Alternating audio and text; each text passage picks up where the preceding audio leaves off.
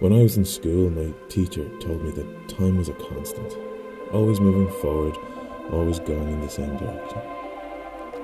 Getting older, I've come to realise that it's more a matter of perspective, more a way of looking at things.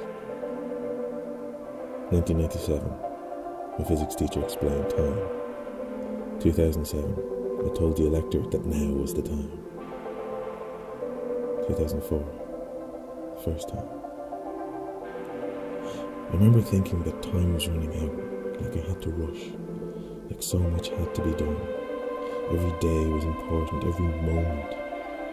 In 2011, my campaign managers told me it was essential, crucial for my re election that I get my ass fixed. My glasses made me too academic, too distant from the workers, the people who'd lost their homes. I could always wear clear frames when I had to speak about the economy, but fix my sight, show my face, win the vote. In the next nine years, I'd have so many lists, so many things to do, and I, we, you know, I would do them all. I ticked every box, fulfilled every promise, made good on every strategy that Brussels put in front of me. For nine years, I was a complete success. But now looking back, 2020, hindsight, I suppose. I had the boys in the lab mock this up for me, the benefit of being Prime Minister. It's a daedalus phone. It can call across time. Ever since 606, physics has just unzipped. It's also loose now. Time is just tea leaves hot water. With every spin, it just all gets darker.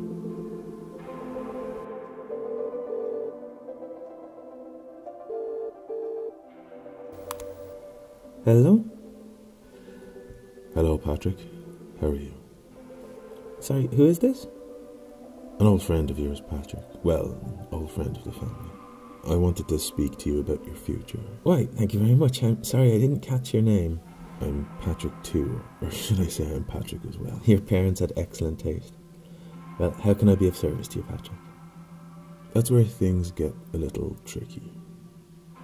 What if I were to tell you that I know for a fact you'll win this election? Well, you'd certainly have my undivided attention.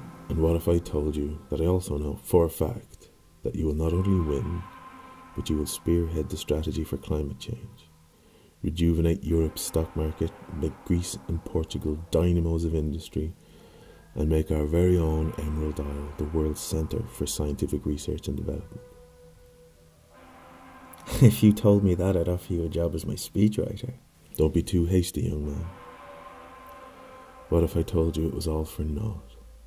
What if I told you for a fact that despite everything you did in your career, by 2020 the world would be on its knees? I'm not quite sure I'm following you. They told me that 2020 was the start of a new renaissance, a golden age of scientific progress, but they were wrong. This has all been very pleasant, sir, but as you know, I'm very busy. Don't lie to me, you impudent pup. It's October the 14th, 2011. You're on your way for laser eye treatment. How do you know? Listen to me, you fool. There isn't much time. You have to take action straight away. Take action? What action? You have to kill yourself, Patrick. You have to kill yourself right now.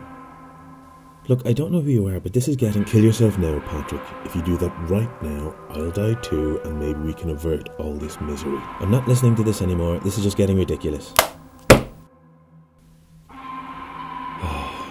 impatience of youth.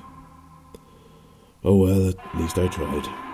Prime Minister, Higgs boson field is at 40%. Belgium and Switzerland are gone. If we don't act fast, we risk all mainland Europe. Yes, yes, of course. Bring me the case. I am a stride at a time, a very short space of time through very short times of space.